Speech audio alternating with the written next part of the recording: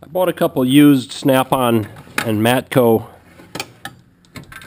toolboxes yesterday, full of tools. Craigslist find, great deal.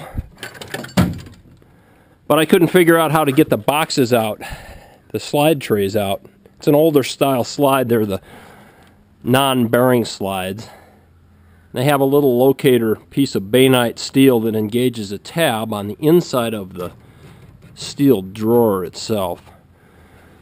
So I tried to use a hacksaw blade to get in there, and uh, the hole on the hacksaw blade kept getting stuck.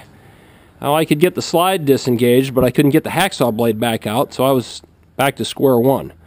So I took this end of the hacksaw blade, I cut it off short of that hole. Now when I stick it in there, it goes behind the bainite and releases it, and you keep pushing it in and it climbs up over the tab. And when you pull it out now, it jumps right off.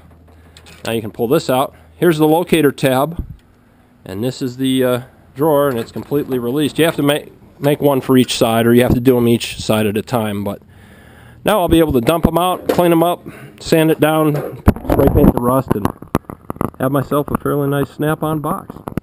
Incidentally, once I got all the drawers out of this box, lo and behold, there was quite a few tools that had fallen out of the tops of the boxes and over and behind on both the top chest and the, the lower chest. And in each one of the boxes, I found this little piece of bainite. It's probably uh, the original 1980s vintage drawer release, and it, it really works well. It's a little bit thinner than the hacksaw blade.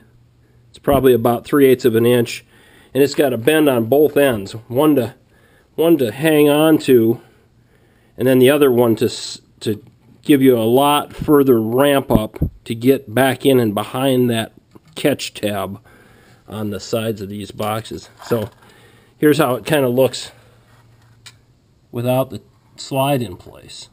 And that's basically the action that you're looking for once you get behind the slide. You can probably still buy these from Snap-on, but it's thin enough and the bent hacksaw blade works almost as well.